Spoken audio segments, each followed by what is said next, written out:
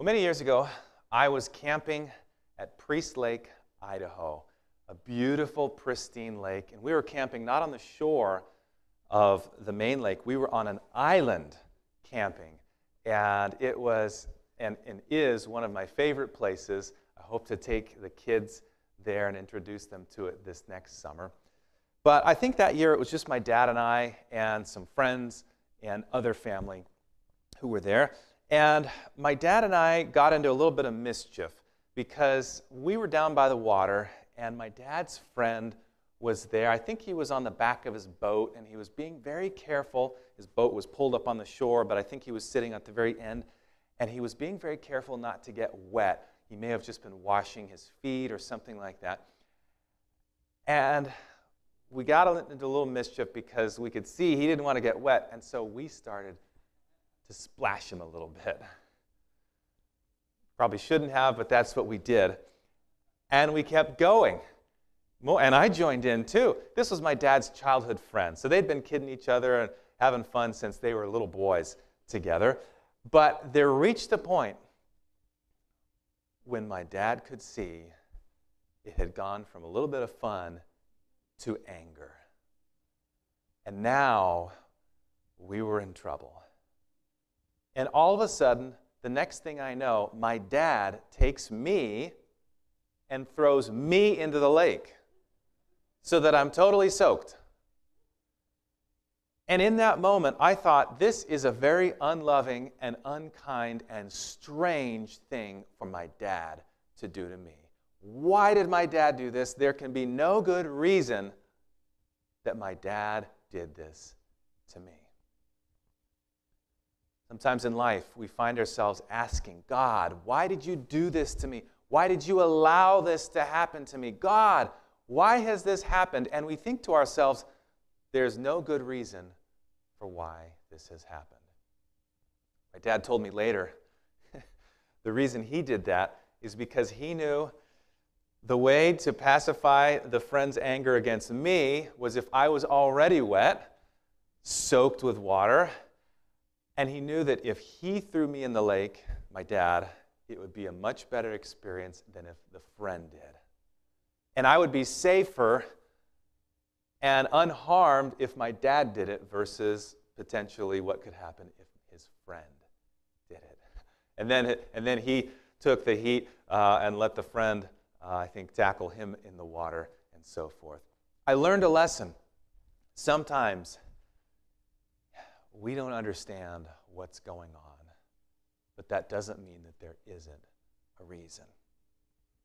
Today we conclude our sermon series on why is there so much suffering? Uh, if you've missed parts previous to this, uh, I encourage you to go to our YouTube page, Parkwood SDA Church, and you can watch the messages before this because there's a lot of content that you, you will have missed out on. But I'm reminded from the book of Job. Job's all about suffering. And, and there's two major lessons that we see in Job's experience. Number one, in the first couple chapters, the curtain is pulled back and we get a glimpse of the cosmic conflict framework, a little bit like we've been talking about. There's a lot more going on behind the scenes this battle between Christ and Satan, and this battle of slander and allegations. And the only way that Jesus can win the battle is not through power, but through demonstration. So we get that from Job, but then we also get when God shows up and starts talking to Job Job has been accusing God of doing this unjustly to him, and he can see no good reason. And God shows up, and he doesn't answer Job's questions. He simply reminds Job of how little he actually knows. And when he is confronted with his ignorance, he realizes, wow, God is so much bigger and so much wiser than I am. There must be a reason, and I'm going to leave it to God. So even while we strive for answers, we need to remember the lesson from Job. We know so little compared to the great God of the universe that knows so much. Greg Ganssle and Yena Lee actually had an illustration that was similar to this idea. They said, Imagine that you're a five year old, or imagine that there's a five year old, And the five year old has learned every time they go to the pediatrician, they see that doctor supposed to be happy, they get this sharp metal thing jabbed either into their leg or into their shoulder, and it makes them cry. So they learn this is a, a place, an evil place with evil people that work here. And that's what the five year old is thinking. Why? Why? And that's why they give suckers because they're, you know, or stickers. They're trying to make positive associations. But for some kids, they realize there's this evil person. Why are they doing? And there's no good justifiable reason in their mind. But notice how uh, they conclude their illustration. They say if the difference in knowledge from a few decades, like pediatrician to the child or parent to the child, who lets them go through this because they know it'll help them in the long run, if the difference in knowledge up from a few decades supplies a justifying reason, unimaginable to a five year old, the difference between finite and infinite knowledge may also supply a justifying reason unimaginable to those with limiting limited understanding. We have a finite, a small amount of understanding. God has infinite. How much more can he see and know than we know? And they conclude by saying, Thus, given the gulf between God's knowledge and our knowledge, it seems unreasonable to expect that we could know the God justifying reason for every case of evil, even if such a reason were to exist. They recognize we shouldn't expect to know every single time why evil is happening in our life. It's unreasonable for us to know now, in the here and now, why everything has happened the way it does. But we can have an assurance that there's a framework, uh, that there is a reason, uh, and someday we will better understand why. So before we get into uh, this message. That was our introduction. Before we get into this message this morning, um, I want to talk uh, to our God would you join me in bowing your heads in prayer? Father, we come to you this morning grateful, and we also come to you realizing uh, that there's a lot of pain and suffering in our world. Lord, we don't always understand why. But I'm thankful this morning that we have more than enough good reason to know that you're a God that can be trusted and a God that loves us and is working on our behalf in every circumstance in life. And so this morning we say thank you. Inspire our minds with what you want to say to us and lead us forward, we pray in Jesus' name. Amen.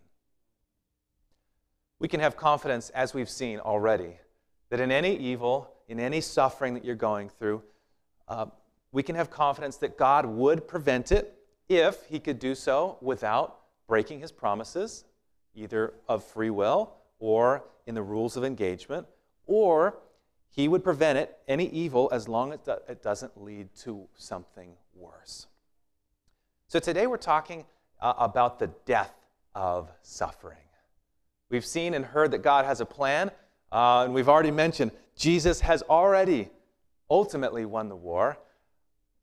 But what does that look like? We want to get some more data from Scripture this morning. What does the Bible have to say about how Jesus will eliminate suffering once and for all? Notice what the Bible says in 1 John chapter 3 verse 8. Scripture is very clear. When Jesus came down to this world, he defeated Satan. Can you say amen?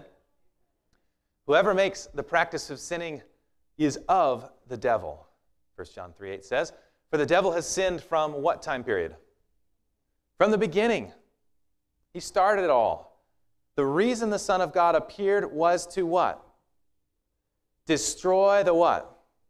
The works of whom? Of Satan, of the devil. Jesus came down here to destroy the works of the devil. That is immensely good news. Notice what else the Bible says. Hebrews chapter 2 verse 14 and 15. Since therefore the children share in flesh and blood, he himself, Jesus, likewise partook of the same things, that through death he might destroy the one who had the power of death. That is who? The devil. and deliver all those who, through fear of death, were subject to lifelong slavery. Jesus came down, and in dying, he destroyed death.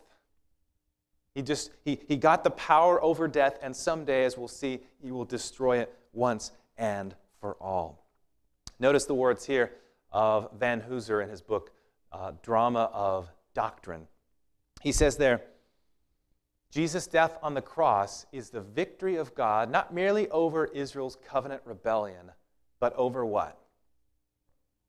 The cosmic powers of sin, Satan, and death.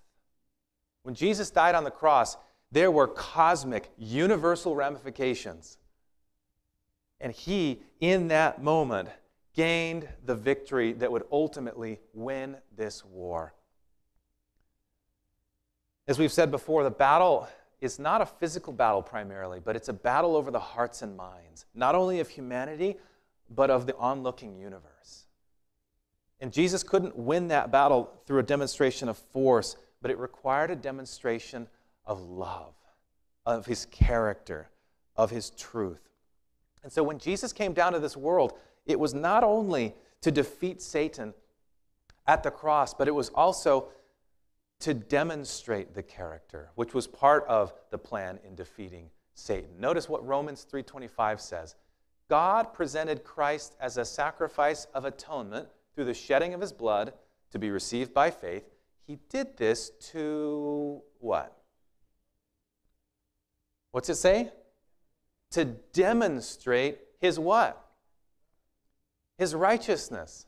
This was a demonstration of the righteousness because in his forbearance he had left sins committed beforehand unpunished.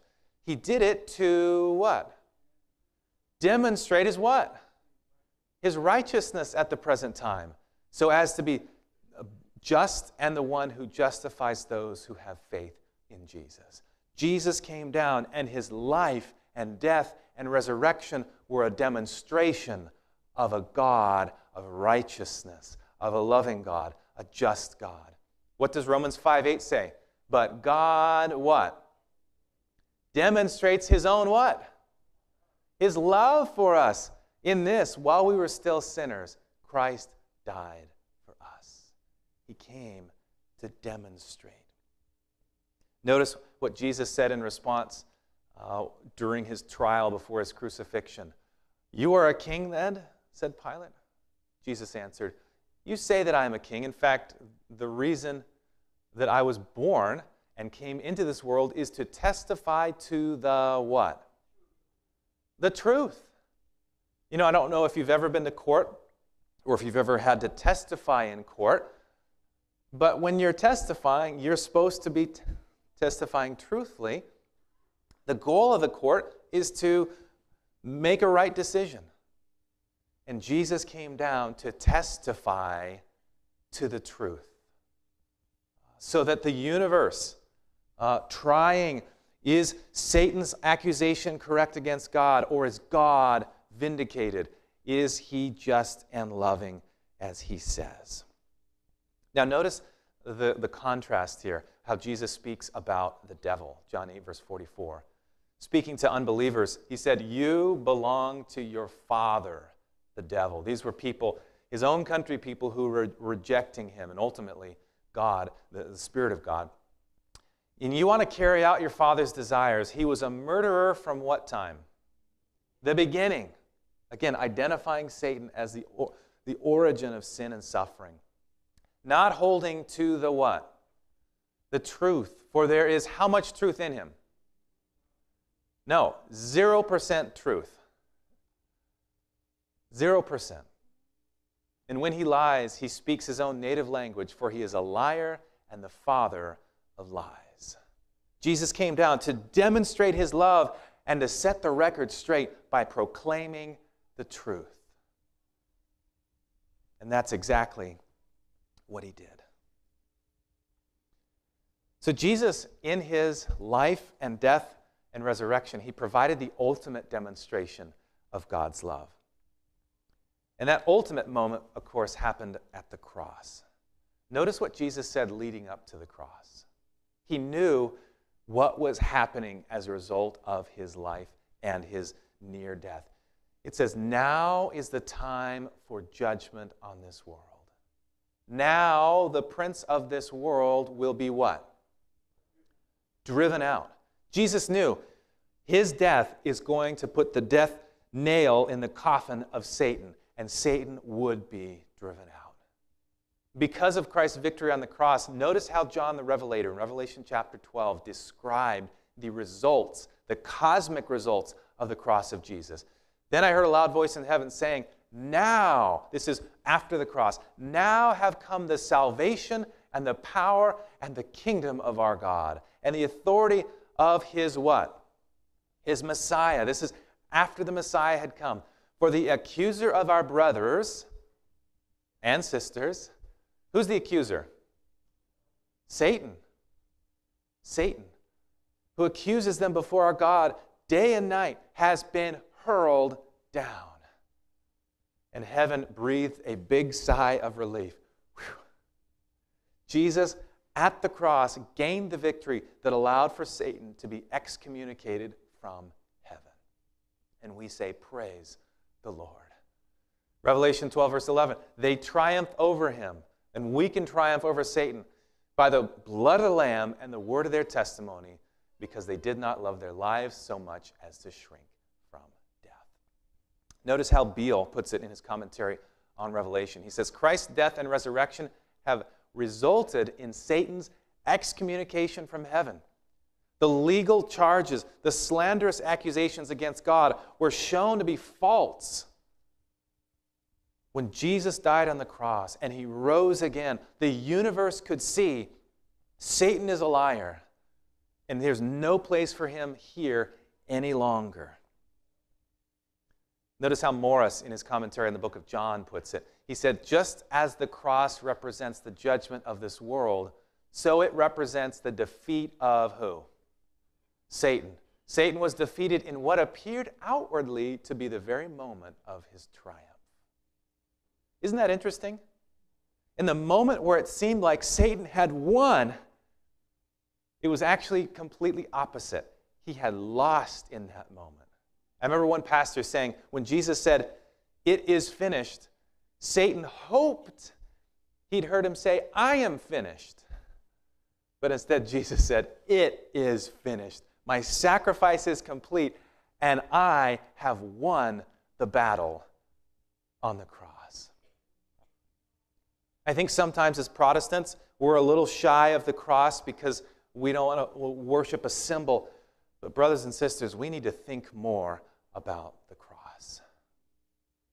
We need to think more about the cross. I mean, we would be less selfish people if we spent more time thinking about what Jesus did for us we would have a deeper appreciation and love for all people if we were to think more about the cross. Notice this next quotation. Uh, Beale's commentary on Revelation. He says, Christ was wrongfully accused and executed by Satan's earthly pawns, but his resurrection vindicated him in the law court of where? Heaven. He recognizes this cosmic dispute, and Satan uh, through killing Jesus, actually vindicated Jesus, vindicated God, the Holy Spirit, vindicated him in the law court of heaven, and enabled him to take away the devil's right and power as the heavenly prosecutor. Amen to that. Notice how John Peckham sums it up in his book, Theodicy of Love. The triumph over the devil and his slander by the ultimate demonstration of God's righteousness and love in the Christ event unleashed God's kingdom by legally disarming the evil celestial power. We can never underestimate just how important the cross was. Notice how the Apostle Paul puts it in Colossians 2, 2 verse 15. When Jesus died, it says, having disarmed the what? The powers and what? Authorities. They're not just talking about little civil, you know, the mayor was unseated. No, no, no. These are cosmic powers and authorities. Disarmed them. He made a public spectacle of them, triumphing over them by what? By the cross. What a glorious victory Jesus won. Okay, so now probably some of you are thinking, that's fabulous. But how come, if that was 2,000 years ago and Jesus won the victory, how come we're still here? How come we're still going through suffering?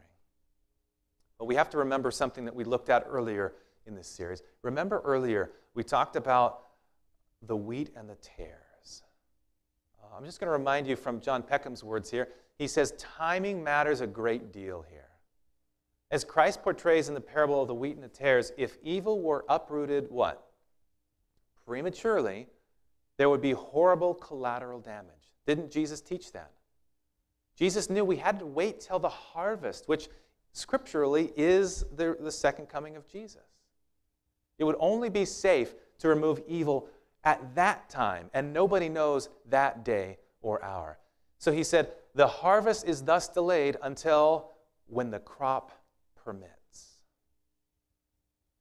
So, admittedly, there is some mystery here regarding the exact timing because we don't know the exact timing. But Jesus, who hung on that cross for us, with his infinite wisdom, he said, It's best to wait until the harvest.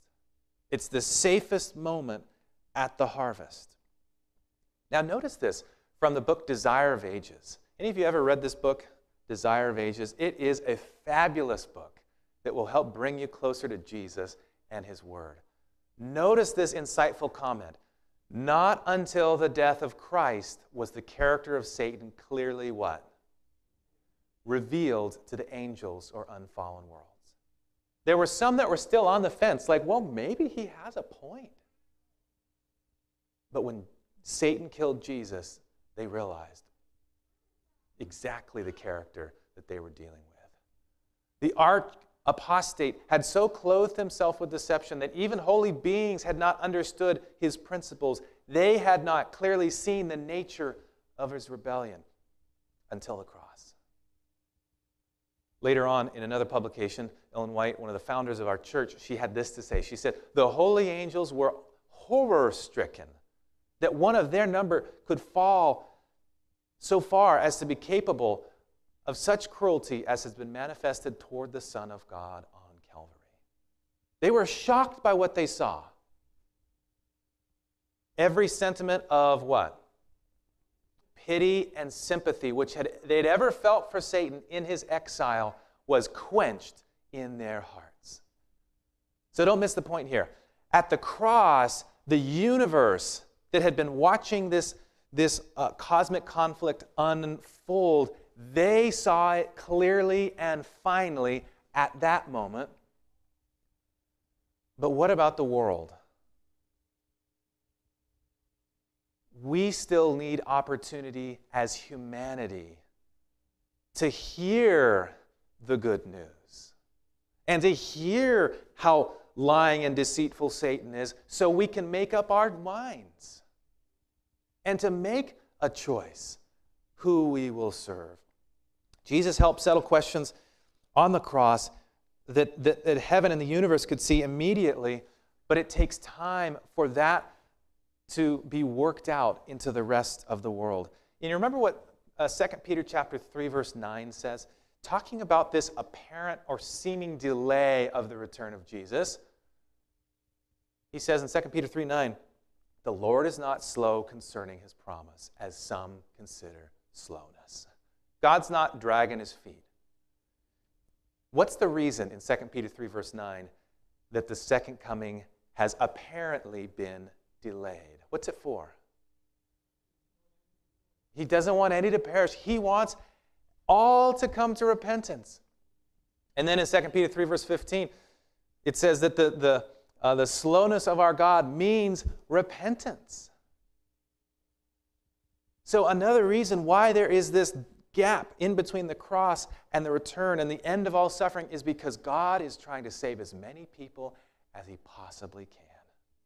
And only an infinite being knows the exact right time to return, given the population of the world, given the circumstances in the world. Notice what the Bible says in Matthew 24, verse 14. And this gospel, which means this good news of the kingdom will be proclaimed throughout what? The whole world as a what? As a testimony, or in other translations, a witness. Now, remember, where do we have witnesses and testimony? In a court system. The gospel is to go to the whole world so that the court of the world and the onlooking universe can see clearly the character of God, the good news. And once this has happened, then what will happen? Then the end will come. There's good news about our good God and Savior that your neighbors, my neighbors, your coworkers, your family members, people around the world need to hear. Are we going to share it or are we going to keep it to ourselves? Notice this from one of my favorite books, Christ's Object Lessons. The last message of mercy to be given to the world is what? A revelation of His, God's, character. The children of God are to manifest His glory. In their own life and their character, they are to reveal what the grace of God has done for them.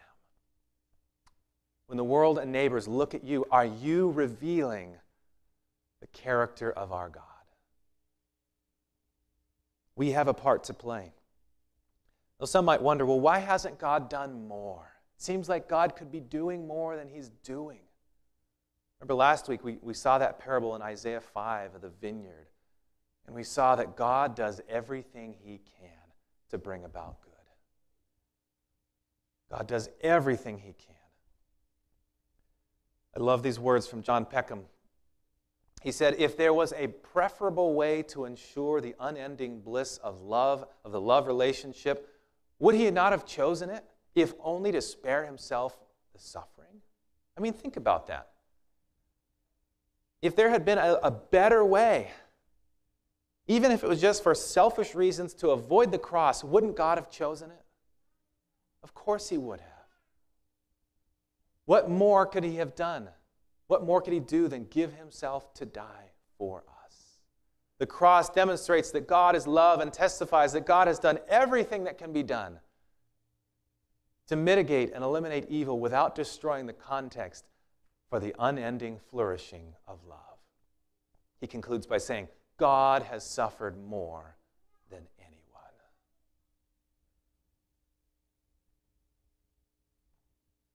I love these words uh, from Henri Blocher. Evil in the cross. From the cross, there will spring light sufficient to illuminate even the darkest night. Even in our deepest sorrow and suffering, we can remember the cross, and it reminds us that our God was so committed to ending suffering that he gave everything he had to do it. And there was no other, no better way. Stephen Davis echoed this thought.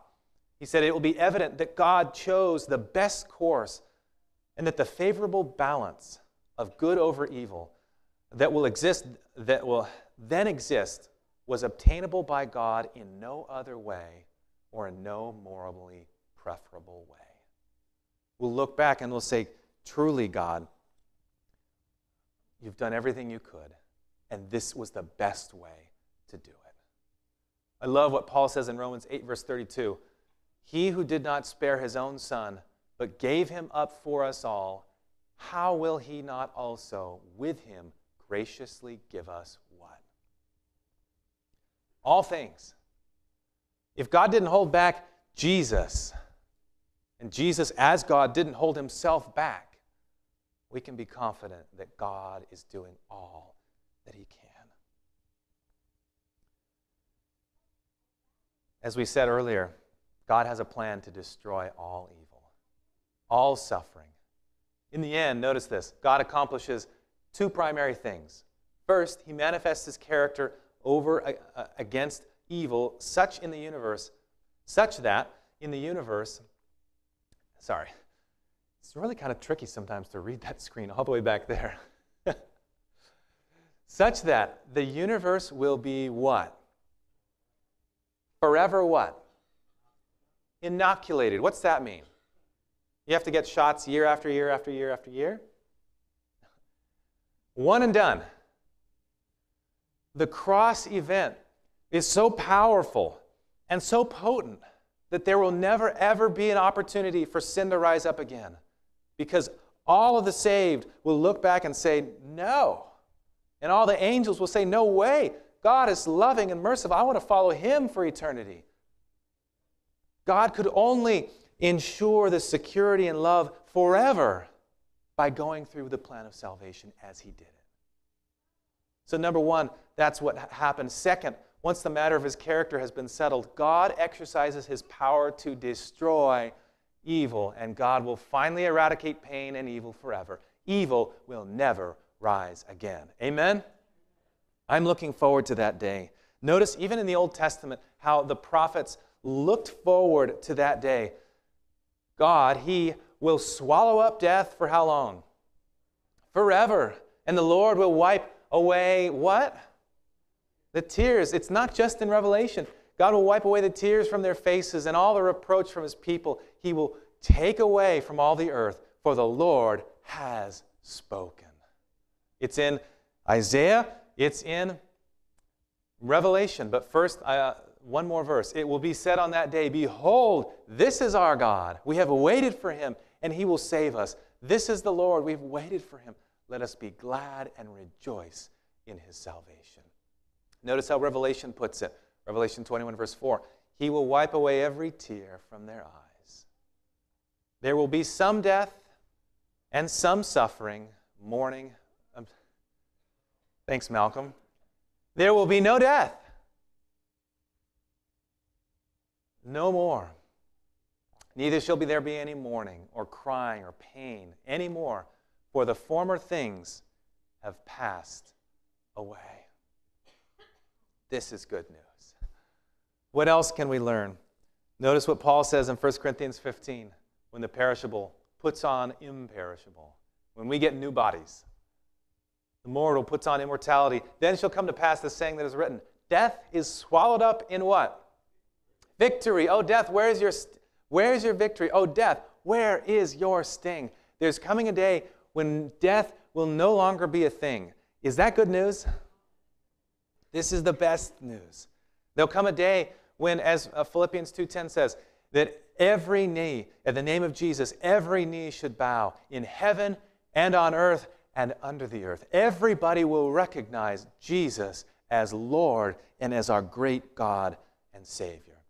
The prophet Daniel pointed to this day in Daniel 7, verse 14. And to him, Jesus, looking forward in the future, he says, To him was given a dominion and glory and a kingdom, and that all peoples, nations, and languages should serve him. His dominion is what kind? Everlasting dominion, which shall not pass away, in his kingdom, one that shall not be destroyed. He will set up his kingdom. We've talked a lot about the kingdom and there will be no evil or suffering in that kingdom. Even the words of Moses in De- Deuteronomy 32, verse 4, testify to the goodness of God. The rock, his work is what? Perfect. For all his ways are what? Justice, a God of faithfulness and without iniquity, just and upright is he. I like these words. Last quote from John Peckham. I know it sounds like I've shared half the book with you, but there's a lot more if you want to read this book. Only one who knows the suffering of this world could be in a position to make a rightful judgment that, and now quoting Paul, the suffering of this present time are not worthy to be compared with the glory to come. As Paul, who suffered more than probably most of us will ever have to suffer, as he thought about what he'd been through, he said, This ain't nothing when I think about how good heaven will be. This is nothing. When we get to heaven, we'll look back and we'll say, Wow, this is so wonderful. Not in any way diminishing the suffering, but but in comparison to the great glory and joy of heaven, it will seem like the smallest of things. We'll close with this last quotation. It's from a book called The Great Controversy about this cosmic conflict. This is the last paragraph. It says, The great controversy is ended, pointing forward to that day when Jesus restores all things. Sin and sinners are no more. The entire what? The entire. Oh, it's not on the screen. Well, we'll put it on the screen. It was, it was on the screen behind. See. We'll, we'll put it on there in just a moment. I'll, I'll, I'll read it here. The great controversy is ended. Sin and sinners are no more. The entire universe is clean. One pulse of harmony and gladness beats throughout the vast creation. From Him who created all flow life and light and gladness. Throughout the realms of illimitable space, from the minutest atom to the greatest world, all things, animate and inanimate, in their unshadowed beauty and perfect joy, declare what? God is love. Everything declares God is love. Maybe you want to pull that book off the shelf this afternoon and read that last chapter uh, if you have a book, or if you want a copy, we'll get you one. Friends, what have we seen in our series? We've seen there's a lot of suffering in this world, but we have a God who entered into our suffering in order to fix it forever. And we have a God who has loved us from the beginning and will love us for eternity, even if we choose not to return his love. But as I think about Jesus on that cross, it makes me want to love him more. It makes me want to follow him more faithfully. How about you?